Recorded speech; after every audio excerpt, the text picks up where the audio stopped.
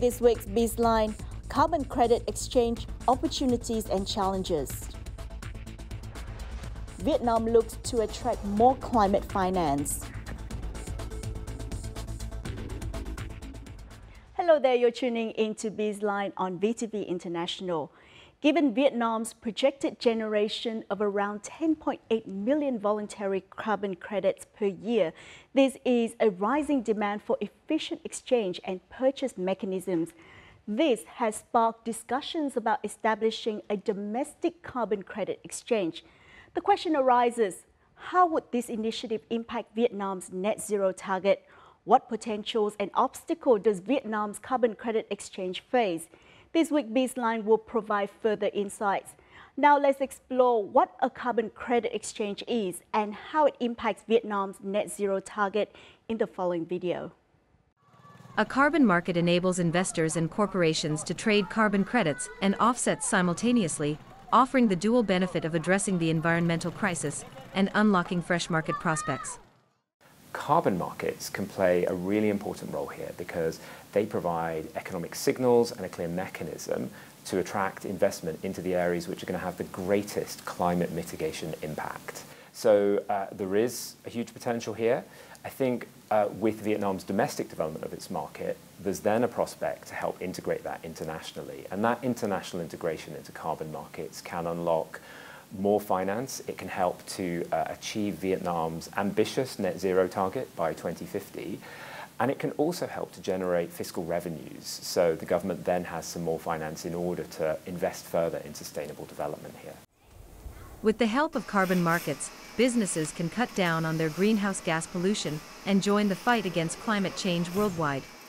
Based on the cap and trade or carbon pricing approach, businesses are given emissions permits to trade or sell to meet their pollution reduction goals. So if we have a local uh, carbon credit market, there would be very beneficial for firms where they can have an easy access and all the transaction would be in Vietnamese dong, but would be less costly as well. Um, so this is something that is good for local uh, businesses. In line with the goal of reaching net zero by 2050, the Ministry of Natural Resources and Environment is actively developing a scheme for the development of a domestic carbon market. This scheme places emphasis on the mandatory trading of greenhouse gas emission quotas for industries and businesses within the domestic carbon market, while also considering international market integration. The roadmap for this project outlines the commencement of piloting by 2025, with the official operation of a carbon credit exchange to begin by 2028.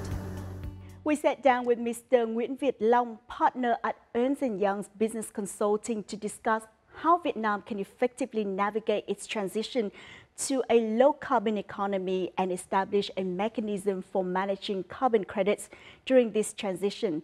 Let's listen to what he has to say. Vâng, rất cảm ơn ông đã dành thời gian tham gia chương trình ạ. À, trước tiên xin ông có thể chia sẻ một chút về trao đổi tín chỉ carbon là gì và điều này nó sẽ có lợi ích về kinh tế như thế nào? Ví dụ như là tôi là một doanh nghiệp à, hoạt động ở trong thị trường thì uh, tín chỉ carbon có nghĩa là gì khi mà nhà nước hoặc là cơ quan nhà nước có thẩm quyền à, quy định là à, à, doanh nghiệp tôi thì sẽ được à, phát thải một số lượng à, tấn carbon à, trong một năm à, và cái quy định đó quy định là trong cái mức giới hạn đó tôi sẽ được phát thải thì đấy chính là tín chỉ và nó được xác nhận bởi ờ, một cái cơ quan và cụ thể ở đây thì có thể là ờ, nhà nước xác nhận và thông thường thì à, nó sẽ tính theo đơn vị là tấn CO2. Nó có lợi ích là ví dụ là tôi là một công ty A, à, bạn là một công ty B. À, cái tín chỉ của tôi là tôi sẽ được phát thải ví dụ như là tôi là 100 tấn một năm và bạn thì là 80 tấn một năm. À, nếu mà tôi phát thải không hết là tôi chỉ 80 tấn, tôi còn dư 20 tấn. Mà trong khi đó công ty của bạn là có thể phát thải 100 tấn. Thì như vậy là cái số thừa 20 của tôi thì tôi có thể trao đổi cho bạn. Thì đấy gọi là à, cái trao đổi tín chỉ carbon.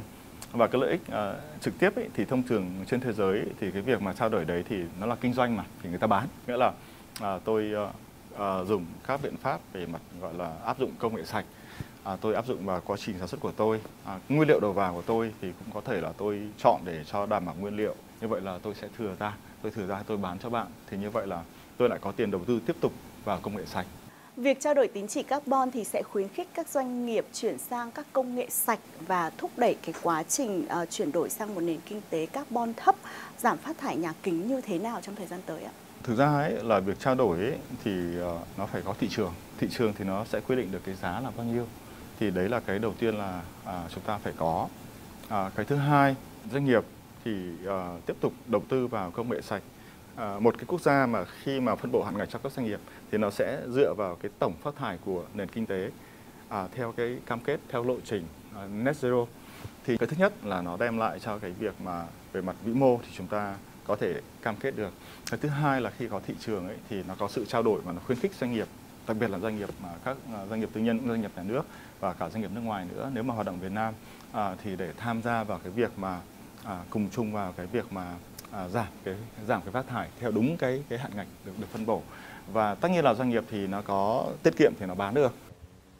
Currently, Vietnam faces many challenges in the implementation process of carbon credit exchange, focusing on regulations that have not been issued in a timely and complete manner. Human resources in both the public and private sectors for these activities are lacking and inexperienced. Hopefully, the regulation will come out. In every market, regulation will be extremely important. We need the guidance from the government. Without that guidance and regulation, it is very hard for the farmers and the business, businesses to, to operate, to move. They don't know where, uh, in which direction they should proceed. That is something that uh, we need the government to, uh, to act on.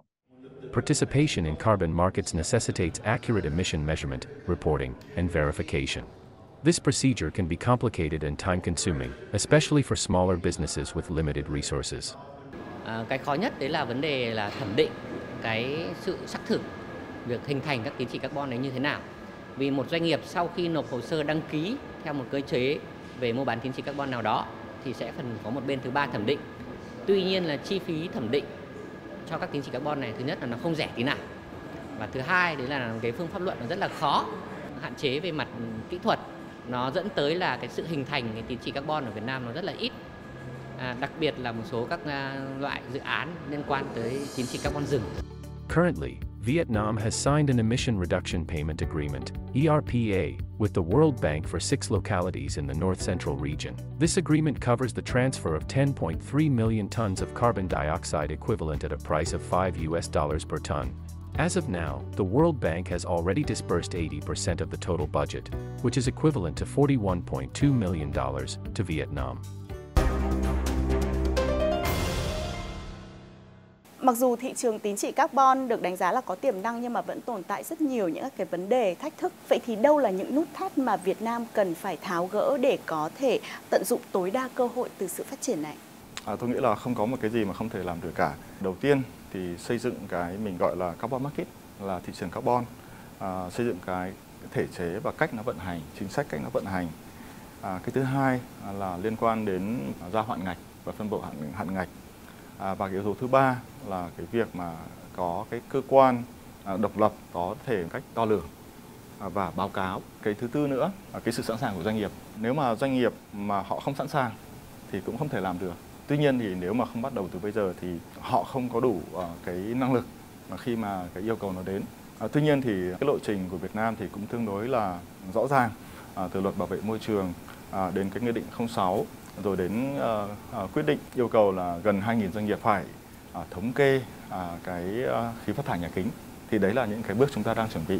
Đấy là cái chuẩn bị từ phía chính sách của nhà nước từ phía định hướng của nhà nước. Tuy nhiên thì bản thân các doanh nghiệp họ cũng phải à, phải phải chuẩn bị quan trọng nhất ở trong cái việc bán như vậy ấy, là chúng ta định giá như thế nào. Tôi nghĩ là chúng ta nên rất là cẩn thận. Cũng có thể là hôm nay thì à, à, cái giá chúng ta là bán 5 đô như biết đâu trên giá thị trường à, một thời gian nó là không phải là 5 đô nữa mà hiện nay là châu Âu chẳng hạn thì nó rất là cao. À, biết đâu đấy thì khi mà doanh nghiệp mà hoặc là một cái tổ chức nào đó cần thì họ lại mua lại với giá cao. Thì chúng ta cũng phải suy nghĩ kỹ về cái lộ trình này.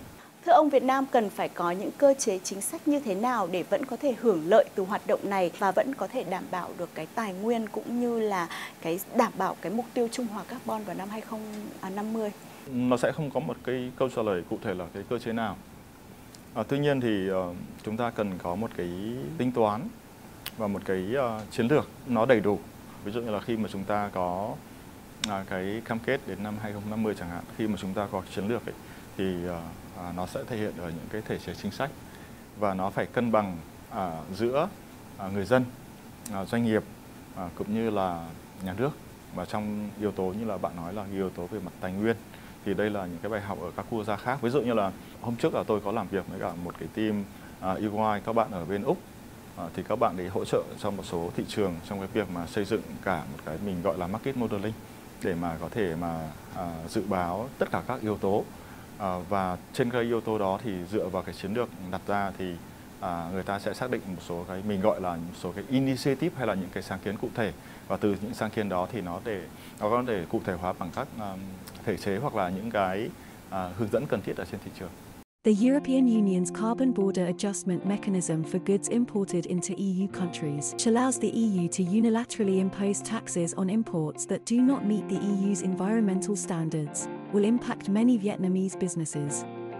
In this context, Vietnamese businesses must evaluate the mechanism's impact and devise emissions reduction plans to adapt to new changes. This chemical enterprise garners an annual export value of up to hundreds of millions of dollars while releasing hundreds of thousands of tons of carbon dioxide into the environment. The enterprise has proactively undergone a green transformation for three years now. The factory is investing 12.5 million US dollars in carbon neutral technology. Đưa toàn bộ CO2 trở thành CO2 nỏng và bán ra thương trường trong một cái diện để sử dụng mặt hàng khác và cũng có thể dùng CO2 để sản xuất cái ờ, bột nhẹ, canxi carbonate là một mặt hàng rất cần trong các ngành công nghiệp.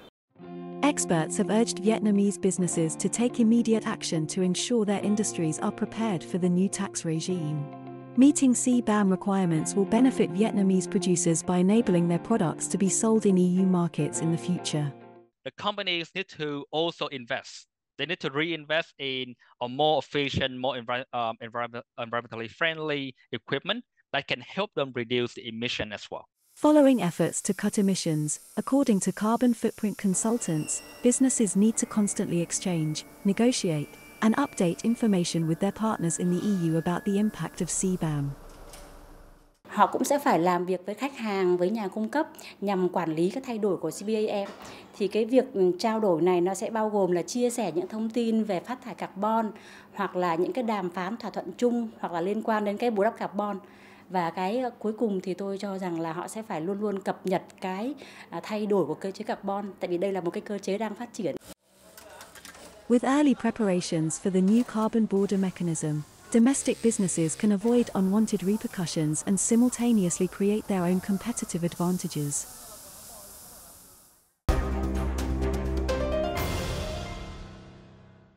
Việt Nam có thể phải chịu thêm nhiều tỷ đô la tiền thuế phát thải carbon khi xuất khẩu sang thị trường EU. Vậy thì ông đánh giá như thế nào về cái sự thích ứng của doanh nghiệp Việt Nam đối với cơ chế này trong thời gian qua? Cái đợt đầu tiên của EU ấy thì họ quy định ấy thì là có ngành à, sắt này, ngành nhôm này, sắt thép ngành nhôm này, à, rồi à, một số cái ngành liên quan đến điện, năng lượng mà mà nhập khẩu vào châu Âu thì phải chịu cái cơ chế CBAM. Thì tôi nghĩ là thế này là doanh nghiệp ấy, khi mà họ xuất khẩu ấy thì chắc chắn là họ sẽ biết và họ đã có chuẩn bị. Thực ra là đối với cả những người mà làm kinh doanh ấy thì à, đối với thị trường nó có biến động gì trong vòng 2 3 năm tới hay là thậm chí là 5 năm người ta đều biết hết. Thì như vậy là tôi nghĩ là các doanh nghiệp à, cũng đã có cái sự chuẩn bị nhất định. À, tuy nhiên ở một bước à, cao hơn, ví dụ như là khi bạn nhìn thấy trong quy định CBAM ấy, à, nếu mà cái mặt hàng xuất khẩu sang châu Âu nó đã trả cái phần mà phát thải ở ví dụ là ở Việt Nam chẳng hạn thì nó sẽ được xem nghĩa là nó sẽ được khấu trừ vào cái việc mà nó tính thuế. Tất nhiên là về mặt ừ, ừ, thể chế chúng ta có lộ trình hết rồi. Ví dụ đến 2028 thì chúng ta sẽ có carbon market. Nếu mà chúng ta không chuẩn bị trước ấy, thì cái việc đóng thuế là doanh nghiệp đóng cho châu Âu. Còn nếu mà chúng ta đã đâu đó ở Việt Nam rồi thì cái cái việc đó chúng ta được giữ lại. Thử thách thì thường song hành với cơ hội. Có ý kiến cho rằng là nếu doanh nghiệp Việt Nam có thể thích ứng với các tiêu chuẩn của uh, thị trường EU thì chúng ta có thể vượt qua các đối thủ cạnh tranh khác. Vậy thì ông đánh giá như thế nào về ý kiến này? Tôi nghĩ là đấy là một cơ hội cho doanh nghiệp. Tất nhiên là nói được cơ hội ngay lập tức thì nghe nó cũng cũng cũng cũng rất là phiến diện. À, vì bản chất là đang kinh doanh bình thường à, thì đến một thời điểm chúng ta lại phải ờ, thêm một cái ờ, đầu mục công việc nữa là chúng ta phải à, thống kê toàn bộ quá trình sản xuất của chúng ta phát thải là bao nhiêu. À, rồi chúng ta lại phải thuê một cái bên để mà làm việc đó. Vì thực ra là làm việc đó thì à, trung bình nó cũng mất thời gian đó cũng mất khoảng từ 4 đến 6 tháng mà thậm chí là cũng có thể hơn. À, vì cái tùy vào cái, cái cái cái quản trị hay là quản lý của doanh nghiệp là thông tin nó có sọ nó, dữ liệu nó có sẵn hay không. 4 đến 6 tháng như vậy thì chúng ta lại phải đầu tư thêm cái nguồn lực ngoài ra thì ờ, để mà giảm nó xuống thì chúng ta phải đầu tư thêm công nghệ quan điểm của tôi ấy, thì đấy là một cái ờ, tự nhiên là một cái trở ngại về kinh doanh thì cái việc mà ví dụ là doanh nghiệp à, sẵn sàng là à, dùng thêm điện mặt trời này à, rồi một số cái giải pháp năng lượng xanh cho họ này rồi họ làm kinh tế tuần hoàn này rồi ngay cả cái phần công nghệ nữa để giảm bớt cái phát thải ấy thì đấy là một trong những cái mà chính là lợi thế cạnh tranh trong tương lai. As we enter a key decade for climate action, both local and international financial institutions are critical to supporting the development and implementation of low carbon projects to achieve national climate commitments. The Climate Finance Accelerator, CFA, has been established to help project developers and financiers work together to fund low carbon opportunities. Deep Sea Green Energy was a project chosen in CFA Vietnam's Phase 1 project cohort. It looks to expand the installation and operation of rooftop solar panels on tenants' roofs, which will enhance energy efficiency and reduce carbon footprints for the industrial park. Step by step, we try to insert different alternative sources. And if you say, I want to become carbon neutral, which is highly commended um, and what actually Vietnam makes so special, I believe, in Southeast Asia, if you do that, you will have to accept that somehow you need to pay for that switch. And I think that is, that is the crucial thing to overcome. Despite this, low carbon projects are often perceived as higher risk as new technologies and business models are not widely understood. Many of them face challenges in pitching projects to financiers and investors. The CFA, funded by the UK government, offers a range of support to assist climate mitigation projects in accessing finance. We support to improve their financial perspective from helping them to develop their financial pitch and also improve their financial model to make them ready to present to the investors. We also support um, the companies to have opportunities to connect with a wide range of investors at the end of our program. For the first phase, we supported uh, all the selected projects with more than 30 financiers in both Vietnam and internationally. And we are really looking forward to support more business uh, in Vietnam to access to uh, more investors. For Vietnam, as well as for other countries looking to access uh, international climate finance, the priority really is to build out an investable and viable pipeline of projects. So that's one of the reasons why the CFA is going to help with that capacity building, because by generating that pipeline, it means the projects are going to be in place, the investors are going to be attracted, and the money can then start flowing. The International Finance Corporation, IFC, has estimated that Vietnam's climate finance demands could reach 757 billion US dollars by 2030. As Vietnam's economy continues to grow, its energy usage will rise, inevitably leading to an increase in greenhouse gas emissions. The situation highlights the critical need and opportunity for financial institutions to engage in Vietnam's emerging climate finance sector.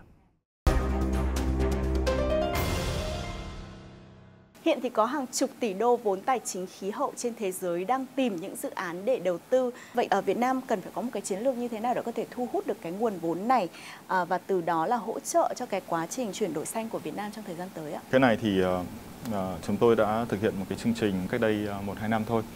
Một chương trình với cả đại sứ quán Anh về low carbon và ở đấy thì chính là cái phần green financing. À, thì qua cái nghiên cứu đó để chỉ chúng tôi nhìn thấy là để chuẩn bị ấy, chúng ta phải có hoàn thiện cái mình gọi là green taxonomy à, để mà chúng ta có à, cái guideline à, để cho cái thị trường mà mình gọi là trái phiếu xanh. Tôi nghĩ là nếu mà chúng ta hoàn thiện xong cái green taxonomy và chúng ta à, đưa nó vào ở thị trường trong nước ấy, thì cũng có rất nhiều cơ hội vì qua nghiên cứu đó thì tôi nhìn thấy là rất nhiều cái quỹ đầu tư nước ngoài hay là nhà đầu tư nước ngoài họ sẵn sàng họ họ họ, họ tham gia cung cấp cái công cụ tín dụng như vậy nếu mà chúng ta quay lại ờ, khoảng độ chục năm trước để chuẩn bị cho một cái tài liệu mà để pitching hay là mình gọi là cái uh, information memorandum thì trước đây là mình không biết trình bày như nào cả.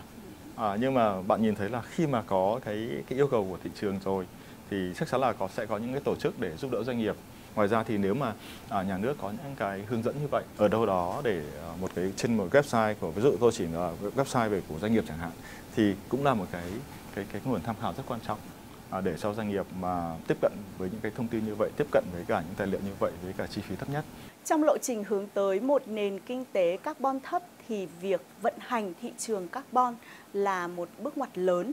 Vậy thì Việt Nam cần phải chuẩn bị những gì để có thể uh, thử nghiệm ừ, vận hành cái thị trường này À, vào năm 2025 và hướng tới là chính thức vận hành vào năm 2028 ạ? Ừ, tôi được biết là Bộ Tài chính à, thì cũng đang chủ trì để à, dự thảo cái cơ chế thị trường carbon như vậy. Như vậy là chúng ta đang làm rồi chứ không phải là không làm. Cái thứ hai là nếu bạn bạn nhìn thấy là Bộ Tài nguyên Môi trường yêu cầu các doanh nghiệp trong cái danh sách mà gần 2.000 doanh nghiệp ấy, bắt đầu thống kê khí phát thải nhà kính ấy, thì chúng ta đang từng bước hoàn thiện cái ecosystem để mà cái thị trường carbon có thể hoạt động được. Chúng ta có lộ trình để net zero vào 2050. Thì như vậy thì chúng ta phải có từng cái bước một. Thì từng cái bước đó ấy, thì chúng ta sẽ phải giảm phát thải. Cái phát thải của toàn quốc gia ấy, thì nó lại được là phân bổ vào cái hạn ngạch cho các doanh nghiệp ở trên thị trường, những cái tổ chức trên thị trường tạo ra một cái thị trường à, để họ trao đổi cái tín chỉ carbon như tôi nói và xác định cái giá carbon thì đấy là hai cái công cụ mà à, chúng ta để chúng ta đạt được cái mục tiêu vào net zero. Cái vai trò khác nữa là nó còn kích thích doanh nghiệp luôn luôn cải tiến để mà đưa công nghệ sạch vào, họ chuyển đổi cái mô hình kinh doanh để làm sao cho họ phát thải ít hơn thì đấy là một cái tác dụng mà tôi nghĩ là nó là tác dụng mà mình gọi là secondary. Tôi nghĩ là cái thị trường này nó cũng giống như là khi là chúng ta hình thành thị trường chứng khoán ấy, thì chúng ta cần phải có những bước đi thận trọng. Chính vì vậy mà bạn nhìn thấy là chúng ta có cái lộ trình đến 2028 cơ. Chúng ta có giai đoạn thử nghiệm. Giống như CBAM bản chất là đi cùng với cả thị trường carbon thì chính là cái phân bổ hạn ngạch. Và cái phân bổ hạn ngạch ấy, thì nó phải tính toán và nó đảm bảo công bằng và thậm chí là nó có cả đấu thầu hạn ngạch nữa. Ngay cả khi mà chính phủ chúng ta à, theo cái hướng là thị trường carbon thì cũng không muốn đưa cái gánh nặng về chi phí cho doanh nghiệp. Khi mà chúng ta mà làm mà gấp quá thì doanh nghiệp không kịp không nó nó không kịp chuẩn bị. Mà à, trong giai đoạn vừa rồi thì sau covid à, rồi tác động của khủng hoảng rồi à, cái à, nhu cầu ở thị trường xuất khẩu nó đang giảm doanh nghiệp rất là khó khăn thì chúng ta cũng phải cân đối để không chỉ là chúng ta nhìn vào cái cái lộ trình của thị trường à, của cái thị trường carbon mà chúng ta còn nhìn vào cái điều kiện thực tế nữa. Nếu mà chúng ta nhìn vào cách đây à, một thời gian trước ấy, thì cái cái là cái cái nhận thức về cái việc mà chuyển đổi như này ấy, thì nó đang còn rất là chung chung. Nhiều người còn không biết ESG là gì, à, không biết là cái phát thải net zero nghĩa là gì. Nhưng bây giờ thì à, cùng với góp ý à, cùng với cả sự góp góp sức của xã hội của các à, cơ quan báo chí thì dần dần cái nhận thức đang lên thì đấy là cái mà chúng tôi nhìn thấy là cái cái cái bước chuyển rất là mạnh ở trên thị trường. Một lần nữa rất cảm ơn ông đã dành thời gian tham gia chương trình. Đây, cảm ơn bạn. Vietnam's potential as a developing market is evident. However, in order to attract climate finance capital, Vietnamese enterprises and their supply chains need to adopt a green and sustainable approach. Carbon credits are in high demand globally, and Vietnam is no exception. Therefore, experts have advised Vietnam to establish a clear short, medium, and long-term goals. Although these targets may require adjustment due to market uncertainty, taking the initial steps is crucial. And on that note, we conclude this edition of BizLine. Stay tuned for more content or download our app VTV Go from App Store or Google Play for even more. Thank you for joining us and until next time.